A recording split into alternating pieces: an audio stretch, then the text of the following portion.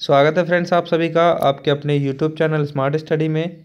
और आज हम बीटीसी सेकेंड सेमेस्टर के लिए सामाजिक अध्ययन शिक्षण की क्लास लेके आए हैं, जिसमें होंगे 20 अति लघु उत्तर प्रश्न। तो फ्रेंड्स वीडियो को अंत तक देखिएगा। अगर आपको वीडियो पसंद आए तो लाइक और शेयर ज़रूर करना। और जिन्होंने हमारे चैनल को अभी तक सब्सक्राइब नहीं किया है, वो सब्सक्राइब करना। फ्रेंड्स आज का पहला क्वेश्चन आता है, मौर्य वंश का संस्थापक कौन था? तो इसका सही उत्तर होता है, मौर्य वंश का संस्थापक चंद्रगुप्त मौर्य था। प्रश्न नंबर दो है सामंत कौन थे? तो इसका उत्तर होगा, सामंत एक नया वर्ग था जो समाज में प्रमुखता के साथ महत्वपूर्ण स्थान बना रहा था। प्रश्न नंबर तीन आ जाता है, परमार वंश की स्थापना किसने की? तो इसका सही उत्तर होगा, परमार वंश की स्थापना राजस्थान में आबू पर्वत के निकट कृष्ण राय नामक व्यक्ति ने की थी। तो परमार वंश की स्थापना किसने की?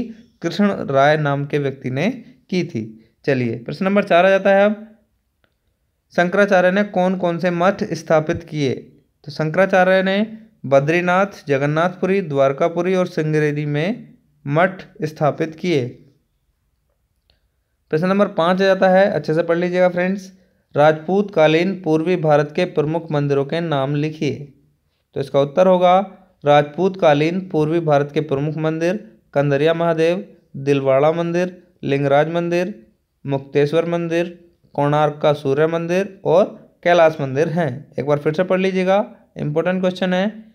राजपूत कालीन पूर्वी भारत के प्रमुख मंदिर, कंदरिया महादेव, दिलवाड़ा मंदिर, लिंगराज मंदिर, मुक्तेश्वर मंदिर, सूर, कोणार्क का सूर्य मंदिर और कैलाश मंदिर हैं। चलिए, प्रश्न नंबर छः जाता है अब। राजपूत काल के प्रमुख राजवंश बताइए।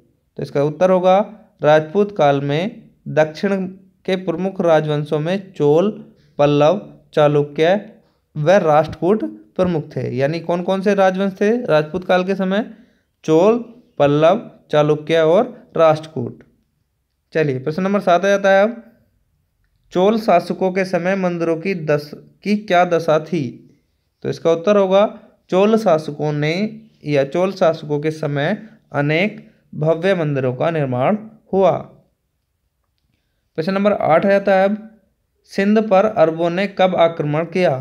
तो इसका सही उत्तर होगा अरबों ने 712 ईस्वी में सिंध पर आक्रमण किया था। प्रश्न नंबर नौ आ जाता है नेक्स्ट। महमूद गजनवी के दो भारतीय आक्रमणों के नाम बताइए। तो इस, इसका सही उत्तर होगा आनंद पर आक्रमण 1008 ईस्वी और दूसरा है सोमनाथ पर आक्रमण 1025 ईस्वी। प्रश्न नंबर दस आ जाता है महमूद गजनवी का सबसे प्रसिद्ध आक्रमण कब और कहाँ हुआ था? तो इसका सही उत्तर होगा, महमूद गजनवी का सबसे प्रसिद्ध आक्रमण एक हज़ार पच्चीस ईस्वी में सोमनाथ के मंदिर पर हुआ था। चलिए फ्रेंड्स नेक्स्ट क्वेश्चन आ जाता है। मोहम्मद गौरी के आक्रमण के समय उत्तरी भारत के दो राजपूत वंशों के नाम लिखिए।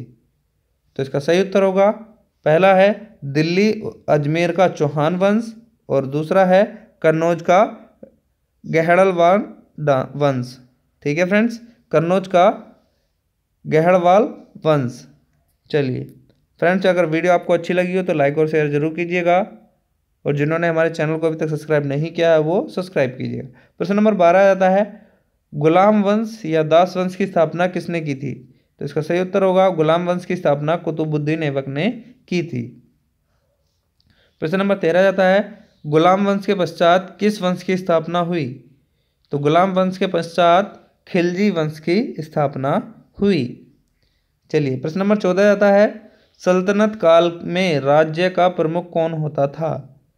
तो इसका सही उत्तर है, सल्तनत काल में राज्य का प्रमुख सुल्तान होता था।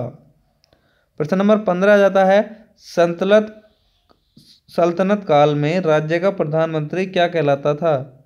तो इसका सही उत्तर होगा संतलत काल में राज्य का प्रधानमंत्री या मंत्री वज़ीर कहलाता था।